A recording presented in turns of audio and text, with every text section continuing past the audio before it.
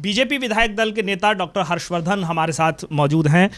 Doctor साहब अब आम आदमी पार्टी सरकार बनाने जा रही है। आपने सरकार बनाने से इनकार किया था। कोई अफसोस है अपने इस डिसीज़न पर? किसी किसी तरह का कोई अफसोस नहीं है। और हमें अपने निर्णय के ऊपर जो है एक प्रकार से गर्व है। क्योंकि हमने निर्णय लेने के लिए दस दिन तक साठगांठ नहीं की। दस दिन तक जनता को गुमराह नहीं किया। हमने अपना निर्णय जनता का फैसला आते ही सुना दिया था। और हम राजनीति में जिस शुचिता के लिए काम करते हैं हमारे लिए सत्ता प्राप्ति वो लक्ष्य नहीं है।